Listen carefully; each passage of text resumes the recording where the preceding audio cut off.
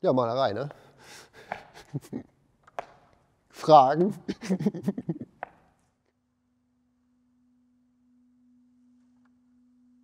Die Kunstsammlung Chemnitz sind seit ihrer Gründung 1920 als Museum immer auf die Gegenwartskunst ausgerichtet. Insofern ist es nur folgerichtig, dass wir auch den etwas jüngeren Gegenwartskünstlern einen großen Auftritt geben, großen Raum geben. Sie sehen den Raum, das ist der nobelste, der schönste, der beste Raum, den wir im Haus haben. Und das war völlig klar. Stefan Vogel bekommt ihn, wenn er ihn haben will. Und er hat gesagt, okay, ich gucke mir euer Museum an und ich entscheide mit euch zusammen, welche Räume ich reingehe. Und er hat gesagt, diesen Raum kann ich bezwingen. Das muss man auch können, so einen großen Raum. Ich kann damit umgehen und er hat ihn bekommen. Insofern ist das nur gut, dass wir auch jüngeren Künstlern wie Stefan Vogel in seiner ersten musealen Ausstellung, muss man auch dazu sagen, seiner ersten musealen Ausstellung auch die Möglichkeit geben, sich voll zu entfalten und ihm auch vertrauen, dass er das kann. Also wir stehen auf dem Holzgrundaufbau, äh, der dann quasi betoniert worden ist. Man hat trotzdem von der Optik her oder vom Foto her, wenn man das jetzt betrachten würde, sofort die Assoziation von Estrichboden, von einem kellerbetonierten Boden. Aber wenn man drüber läuft und ihn betritt, also live betritt, dann äh, federt der natürlich auch so ganz leicht wegen diesem Holzaufbau. Und das geht so leicht in die Knie und schafft so eine Art Unsicherheit, die sich vielleicht auch generell durch die ganzen Kellerräume so durchzieht, so eine Art Unbehagen oder auch äh, ja, Unsicherheit vielleicht auch, äh, was so ähm, durch so unterschwellige Sachen, die man vielleicht auch gar nicht erstmal registriert, aber später dann so, äh, wenn du es reflektieren würdest, auch sichtbar wird wodurch. Zum Beispiel ist einer Punkt davon, abgesehen von der Notlichtleuchten, der Beleuchtung und äh, ähm, der eigentlichen, wirklichen Realistik der Kabel und so weiter ist ja nichts geschönt. Ist ja, also manchmal ist es vielleicht bescheuert äh, installiert, aber jedes Kabel hat seinen Sinn und Zweck, ist unter Strom, äh, hat eine Funktion. Wir haben einen Notrauchmelder äh, angeschlossen ans Museumssystem. Das ist alles äh, quasi echt in dem Sinne, aber natürlich auch fake. Und jeder weiß das sofort. Also es ist auf jeden Fall eine Art Fake, das ist klar, das geht da gar nicht. Aber auf der anderen Seite ist es dann auch so massiv und so komisch und dann aber auch wieder na, am Nachgeben, wie beim Boden, dass er so leicht federt. Aber es ist auch trotzdem Vollbeton. Hier kannst du 15 cm runter gucken, das Loch, und man sieht, es ist Beton. Und, ähm, und natürlich weiß jeder, wie das sozusagen jetzt so gemacht ist, wenn man mal zwei Sekunden länger denkt. Aber trotzdem äh, macht das ja mit einem was, wenn man so durchgeht und man schwebt immer in dieser Realität, Irrealität hin und her. Ich habe Stefan selbst vor knapp zwei Jahren kennengelernt, als wir mit Wiesbaden und Bonn zusammen die Ausstellung gemacht haben. Jetzt, Junge Malerei in Deutschland. Da hat er im Museum Gunzenhauser ausgestellt mit anderen jungen Malerinnen und Malern. Und kurz danach bin ich dann äh, aus Lübeck angesprochen worden von dem äh, Kollegen Oliver Ziebock, der die Idee hatte, mit Stefan zusammen eine Ausstellungsreihe zu machen. Das heißt, Kunstverein Lübeck, wir als Kunstsammlung Chemnitz und dann noch weitere Partner hoffentlich, die zusammen sozusagen eine Ausstellungsreihe machen, in dem Sinne, dass Stefan sich überlegt hatte, er möchte so eine Art Haus bauen. Er hat verschiedene, verschiedene Etagen, die er entwickeln möchte, verschiedene Ebenen, die er entwickeln möchte. Und in Lübeck war das, glaube ich, der Garten, vor allen Dingen der Gartenbereich. Hier in Chemnitz ist es schwerpunktmäßig eigentlich der Keller gewesen. Das heißt, die kleinen Räume sind sozusagen sehr dunkel, sehr eng.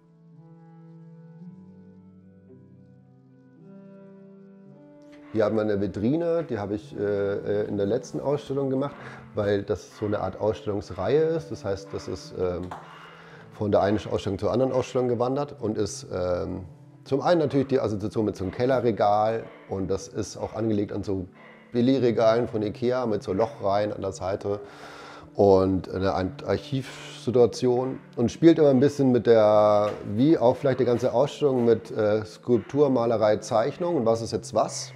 Das schwappt immer hin und her. Und die Bilder oder diese Vitrinen sind ähnlich strukturiert. Das heißt, man hat eigentlich immer so ein Bild, dann kommt eine Skulptur und dann kommt da wieder ein Bild. Und alles für sich selbst genommen ist eigentlich schon etwas, aber das zusammen ist dann eher so ein, äh, ja, ich weiß nicht, skulpturales Tafelbild oder eben ja, Bild. Hier in den Raum oder in den Keller fungiert es ja wirklich fast schon als Kellerregal. Also man hätte es ja wirklich auch als Metallregal hinstellen können. Schwappt hin und her, finde ich ganz schön. Man ist dann natürlich sehr gespannt, was hier entsteht. Natürlich kannten wir schon das Konzept Stefan Vogel hat auch hier noch sehr viel verändert und ist sehr eingegangen. Ich finde, dass überhaupt ein sehr, ähm, eine, diese wahnsinnige Begabung von ihm ist, auf Räume zu reagieren und aus Räumen was ganz Neues entstehen zu lassen. Und es ist natürlich wirklich das erste Mal so, dass er die, mit dieser Rauminstallation die Kunstsammlung komplett verändert hat. Du hast einen Raum, eine Tafelbild, ein Papier ist alles ein Raum. Den kann man bespielen, den kann man nutzen, den kann man beschreiben, den kann man äh, äh, äh füllen mit irgendeinem Content, der dir gerade wichtig ist. Und so macht man es letztendlich auch in den Räumlichkeiten oder in diesen Körperräumlichkeiten. Und dann hast du halt einen Körper, dann kommt wieder was Kleinteiliges rein. Das ist genauso, wie man auf dem Bildträger quasi klein draufschreibt, ich kann nicht mehr. Das ist genau dasselbe wie äh, in dem Raum. Deswegen ist das eine Zwangsläufigkeit und gar keine äh, Auffälligkeit, dass das jetzt äh, vom Kleinen ins Große geht und hin und her schwappt. Äh, das macht es an sich schon. Das macht das, das Werk an sich, oder äh, Werk ist ein schlechter Ausdruck, dieses, dieses, dieses, was auch immer, Ding, macht es von sich selbst aus.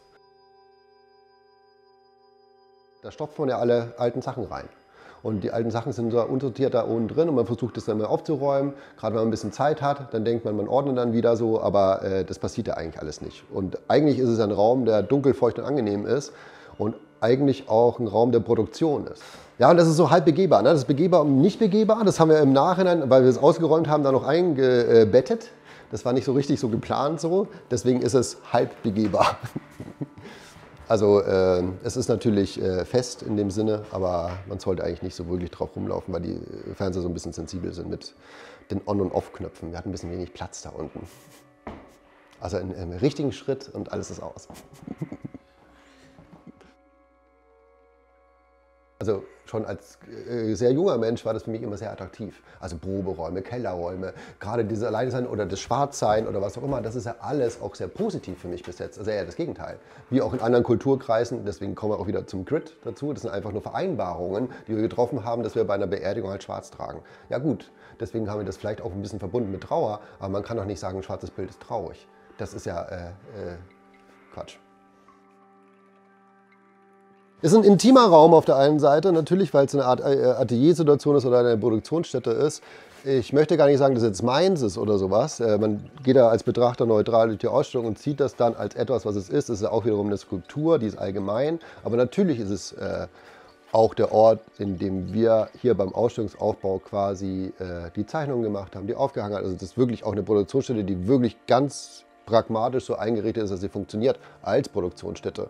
Um auch nochmal klar zu machen, dass der Keller an sich, den du gerade als Ausstellungsraum durchlaufen hast, auch immer eine Produktionsstätte ist für mich. Das ist das Fundament des Hauses unten drunter. Da wird auch keiner eingeladen dazu. Das ist der intimste Ort eines Hauses und ist unter Ausschluss der Öffentlichkeit. Und da wird aber trotzdem sozusagen alles draus geschöpft.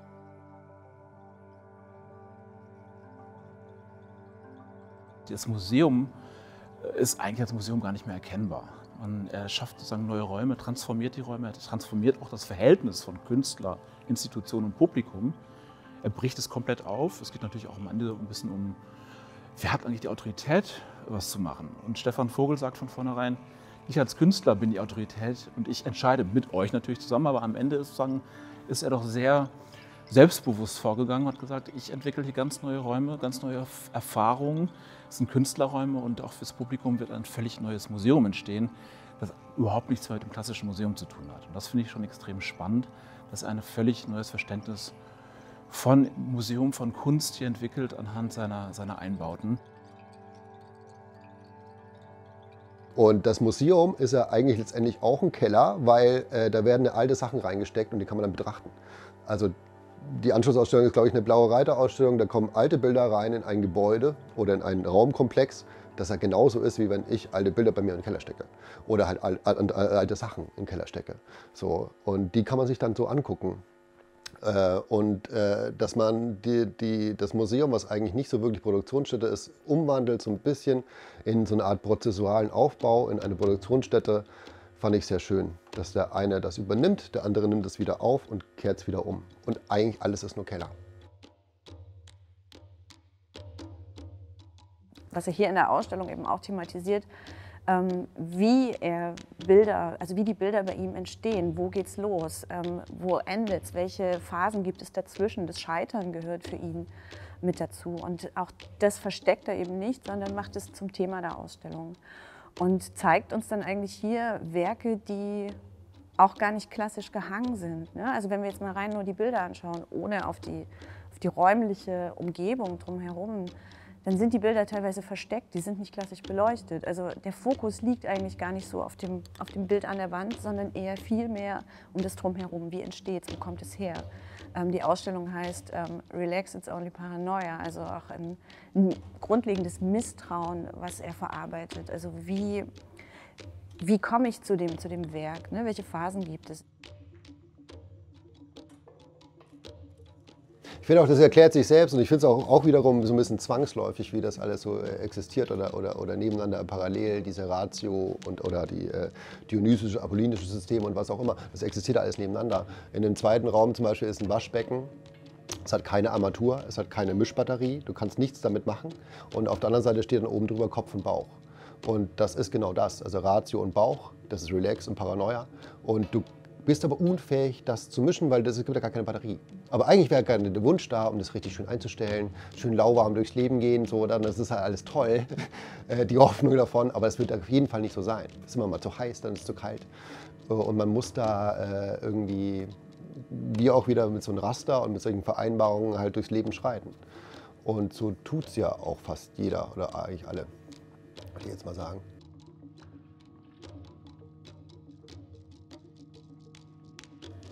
Und äh, das ist ähnlich wie mit der Sprache auch. Also Sprache ist immer im Kopf da. Also ich glaube, das ist bei jedem so. Also äh, es ist ja immer Sprache im Kopf da. Und jetzt musst du irgendwas machen. Zum Beispiel bleiben wir bei der Kunst, dann musst du so malen. Aber Sprache ist auch immer da. Also warum nicht dann auch draufschreiben, dass du gerade ein Problem links oben hast? Was ist denn links oben? Äh, und das kannst du dann quasi metaphorisieren und dann, dann ist das ja quasi schon zwangsläufig da.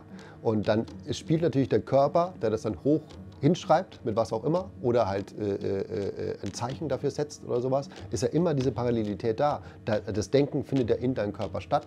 Das ist immer parallel da und beides ist immer da. Der Körper ist immer da und das, das, also der Verfall des Körpers ist immer da, genauso wie das Wuchern der Sprache ist immer da. Und deswegen schreibt man das eigentlich nur auf. Oder agiert quasi als Körper. Man steht ja auch auf. So. Dann äh, kommt man in den weiteren Raum, der geprägt ist von der großen Installation, ähm, dem Gewächshaus, ähm, was in der Mitte des Raumes steht. Also wo dann mehr Licht quasi, also das Gedeihen der Arbeit, das Gedeihen der Ideen ähm, im, im, Fokus steht. Dahinter eine wunderschöne mehrteilige Arbeit mit ähm, Gefäßen, mit Materialien, mit Dreck, also auch wieder Materialien, die man wie gesagt nicht in der Malerei vermutet. Und er schließt eben auch nichts aus. Also generell ist es Zeichnung, ja, also die Installation kann man ja fast nicht übersehen, beziehungsweise das ist ja das verbindende Glied. Du hast hier die Zeichnung, hast hier äh, die Sprache, die Skulptur, die kommt immer wieder hier vor. Also du hast hier auch Ranghilfen drin, zum Beispiel im mittleren Teil als Heizkörper. Das ist ja auch eine Ranghilfe für Wärme. Wir haben den Radiator hier als Begleitprogramm gemacht gegen Kalt. Du hast hier dann hinten eine ziemlich konkrete Sprache, also das sind wirklich Sätze, die ziemlich schwer zu lesen sind, aber man kann sie lesen. Und das ist quasi aus einer Situation, die gegeben ist, zum Beispiel äh, eine Trennung oder sowas, und das ist die eine Sichtweise und die andere Sichtweise. Und die reden um dasselbe Objekt und beide haben nicht recht und beide haben recht zur gleichen Zeit. Also du wolltest doch den Hund, äh, ich, der scheiß Köter kann mir gestohlen bleiben, Herr, aber der Kunde ist da. Also äh, äh, die Wahrheit liegt auf jeden Fall irgendwo dazwischen oder ganz woanders, aber beide sind richtig auch. Man kann auch immer Position gegenüber den beiden Positionen beziehen, weil das ist auch richtig. Dann hat man hier äh, Wäscheständer, neun Stück an der Zahl, die ähm, eine Art Diskussion oder Dialog darstellen. Das ist auch eine prozessuale Geschichte.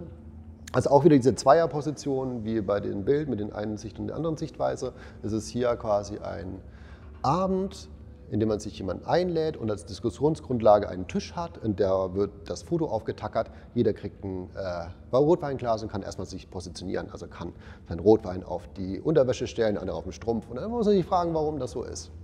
Und dann kommt die Diskussion zustande und dann kannst du eigentlich jede Sache, die gerade äh, jemanden beschäftigt oder beide beschäftigen, im besten Fall sozusagen als Grundlage nehmen und damit abstrakt quasi diskutieren und auf eine Art Konklusion kommen. Das ist dann letztendlich auch wie Wäsche aufhängen und diesen Trocknungsprozess beiwohnen, indem man sich benässt. Von daher äh, ist das auch eine Art von Zeichnung oder so ein Erklärungsmodell für etwas, die eigentlich auch wiederum als Gewuchshilfe dient. Also ein äh, Wäscheständer ist für mich genauso wie ein Gewächshaus.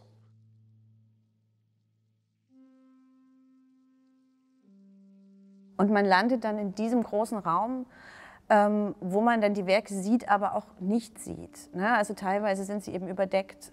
Also sie, sie, werden nicht klassisch präsentiert. Es ist nicht so, dass es jetzt eine fertige Situation ist. Auch das ist im Prozess. Also das Spannende an seiner Arbeit ist wirklich, dass er diesen Prozess zum Thema macht.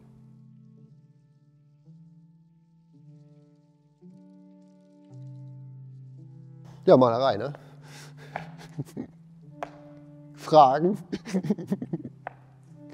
ich habe noch nie äh, in einem Raum nur Leinwände gezeigt oder nur gleichformatige äh, Behauptungen des Tafelbilds an sich. Das äh, ist mir total fremd. Ich glaube gar nicht an dieses Einzelbild oder so. Deswegen könnte ich die auch nie einzeln irgendwo aufhängen. Oder beziehungsweise nie, sagt das nicht. Aber äh, nicht, ist überhaupt nicht meine, mein Gefühl, damit umzugehen oder äh, ist ja auch gar keine, nicht meine, mein Aim oder so, das äh, als Einzelbild zu präsentieren, als Behauptung, dass das Bild das aussagt, was es aussagt. Das geht ja immer so eine Kontextualisierung oder eine Art von zusammen ergeben sich etwas oder so äh, Bezüge, Raumstrukturen.